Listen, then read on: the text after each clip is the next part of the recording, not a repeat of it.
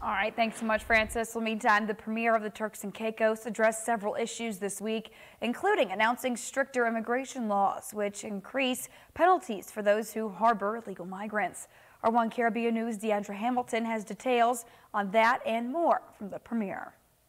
Premier of the Turks and Caicos, Washington Misick, held a national update on February 2nd to address several issues facing the country. The Premier announced that a bill would be debated in the House of Assembly. It was coming and designed to stiffen penalties for those harboring illegal migrants in the TCI. The penalties, he said, would include a person facing up to 14 years in prison and a $20,000 fine for breach of the law. So on Monday, an amendment to the immigration ordinance will be debated in the House of Assembly.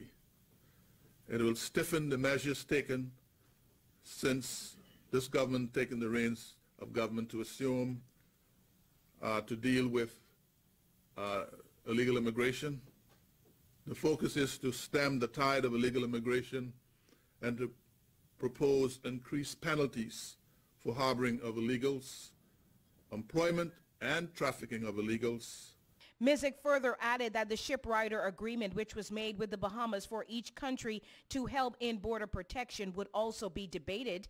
There were hefty increases in financial support through the Department of Social Services. The Premier said these boosts, which included up to $1,500 per month for families with three children, would help in the fight against the rising cost of living. Foster care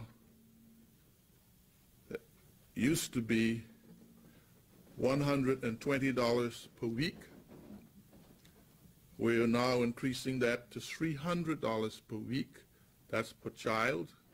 Referred to as social welfare has recently moved from $120 a month to $800 per month per adult. Happy and proud to say that it will now include $500 per month per child for a maximum of three children. Deandre Hamilton reporting.